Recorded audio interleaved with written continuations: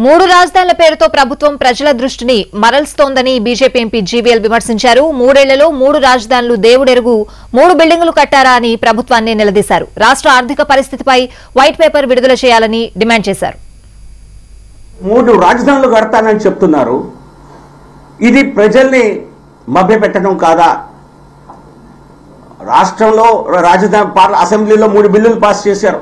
మేమేదో బిల్లు తీసుకొస్తాం బిల్లు తీసుకొస్తున్నాం అని చెప్పి చెప్తున్నారు. అనేక విధాలుగా సొల్లు కబుర్లు చెప్తున్నారు తప్పితే మీరు ప్రజల్ని వారి దృష్టి మరల్చడానికి మూడు రాజధానుల్ని ఒక రాజకీయ క్రీడలాగా వాడుకుంటున్నారు తప్పితే అది మీకు చిత్తశుద్ధి కాదు. మూడు రాజధానులు దేవుడెరుగు.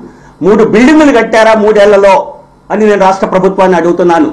చెప్పండి మూడు రాజధానులు పక్కన పెట్టి మూడు బిల్డింగులు కట్టారా? మరి అంత ఆ రకంగా ఆ స్థాయిలో అభివృద్ధి రాష్ట్రంలో జరగకపోతే ఈ రోజు వచ్చి మరి అద్భుతంగా ఉంది. మనమే అందరికంటే గ్రేటు. మన ఆర్థిక పరిస్థితి చాలా చక్కగా ఉంది అని చెప్పే ముఖ్యమంత్రి గారు మరి రాష్ట్ర ఆర్థిక పరిస్థితిపై వైట్ పేపర్ ఇవ్వటానికి మీరు సిద్ధమేనా?